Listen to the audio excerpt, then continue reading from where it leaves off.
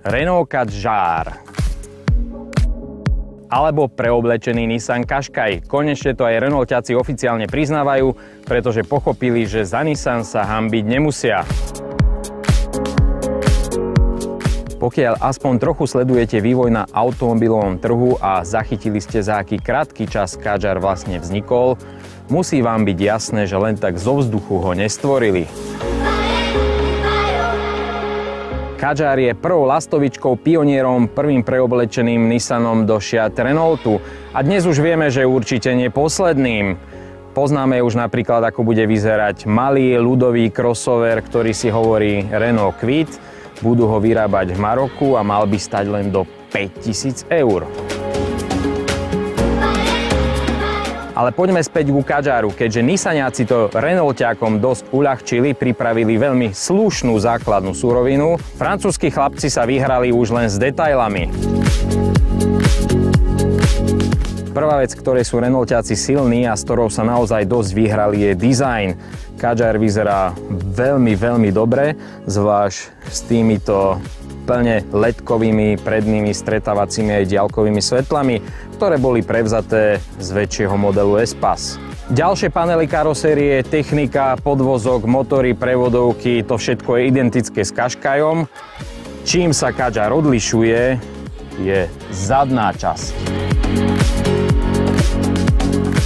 Aby Kadžar priniesol do skupiny Renault Nissan niečo nové, museli ho technici zapasovať medzi Qashqai a X-Trail, a zapasovali ho tam práve väčším zadkom a väčším kufrom. V tejto podobe je to pre mňa plnohodnotný nástupca niekdajšieho Qashqaiu Plus 2. Kadžar je v porovnaní s Qashqaiom dlhší o 7 cm, z čoho 6 cm pripada na zadný previs a o 1 cm je dlhší predok. Hoci Kadžar sa neponúka v 7 prevedení ako niekdajší Qashqai Plus 2, jeho hlavnou výhodou je väčší kufor v porovnaní s Kaškajom o 70 až 100 litrov podľa verzie, podľa výbavy. Či máte v podlahe iba lepiacu sadu, rezervnú pneumatiku, subwoofer, audio sústavy Bose alebo čokoľvek.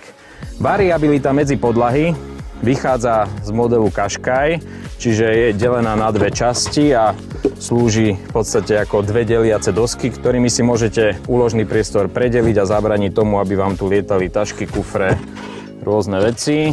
Tiež sa to dá celé pekne vybrať. No a pod podlahou my máme lepiacu sadu so subwooferom. Renaultiaci však pridali aj vlastnú invenciu. V porovnaní s Qashqaiom sú tu tri novinky. V prvom rade sklápanie operadiel z batožinového priestoru, plátené plato, teda krycia roletka, ktorá sa dá elegantne zložiť a schovať v podlahe, pokiaľ ju nepotrebujete. Možno si pamätáte, že Kaškaj má veľké pevné plato, takú tú dosku, s ktorou sa vždy ťažko manipuluje. No a Treťou novinkou je sklapateľné operadlo spolujazca. Čím si predlžíte úložný priestor, raz za čas sa to určite zíde.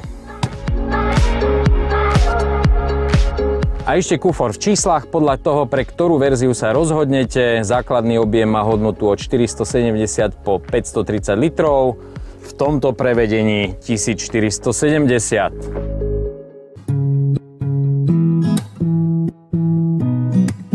Čo je nové v interiéri v porovnaní s Kaškajom? No v prvom rade predné sedačky, ktoré čalúnením aj tvarom vyzerajú veľmi dobre. Sú to úplne iné sedadla ako v Kaškaji, čo môžem potvrdiť. Sedí sa v nich veľmi príjemne a podľa mňa sú niečo tuchšie, čalúnené a majú lepšie bočné vedenie.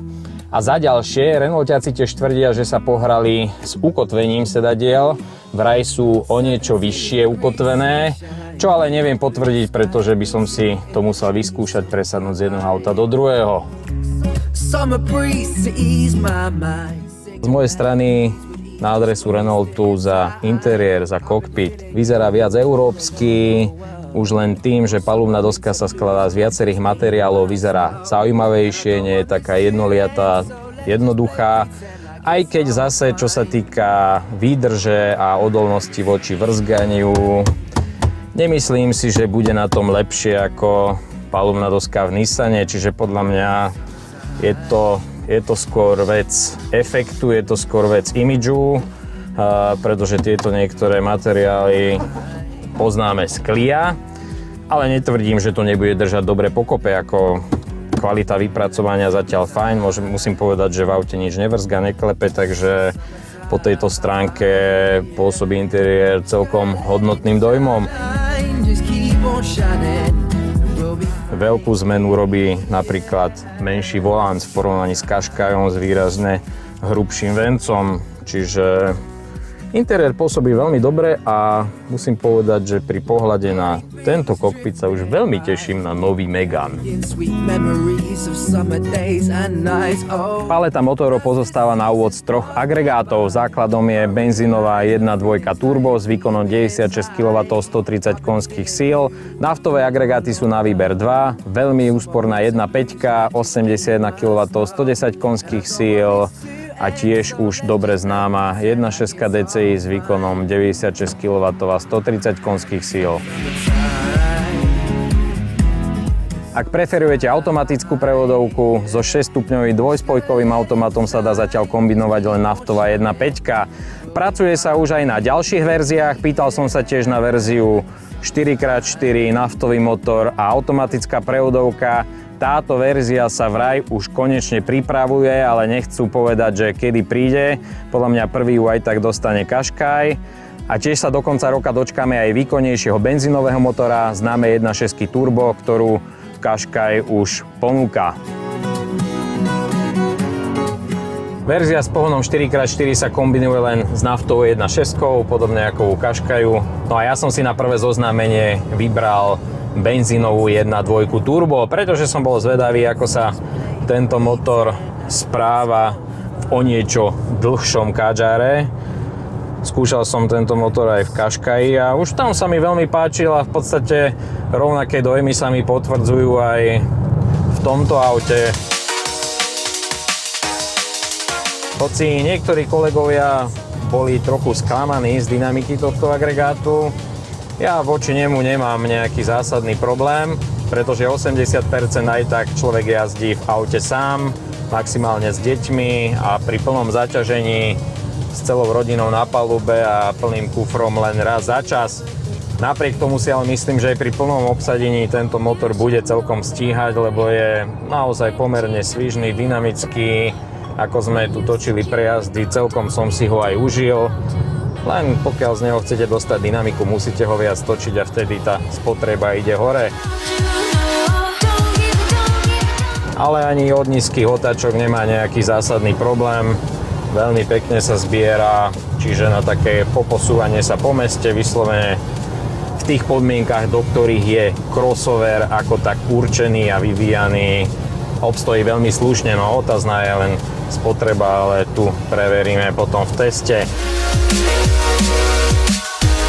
Motor je tichučký, kultivovaný a taktiež podobne ako v Kaškaji je veľmi pekne odhlučnený tiež podvozok. V podstate po konštrukčnej stránke, čo sa týka tlmičov náprav, všetko vraj bolo kompletne prevzaté z Kaškaju, čiže Renaultiaci do týchto vecí nejakým spôsobom nezasahovali, aspoň to mi bolo pôvodne povedané. Nemal som možnosť ešte hovoriť s nejakým technikom, ktorý by mi napríklad potvrdil, či vzadu sú použité rovnaké dvojpestíkové tlmiče ako u Kaškaju, ale pocitovo sa mi zdá, že áno, pretože jazdný komfort je na vysokej úrovni, podobne ako v Kaškaji minimálne cítim 19 palcové kolesá ťažké. Tlmiče pracujú veľmi pekne, veľmi pekne pracujú s pohybmi karosérie.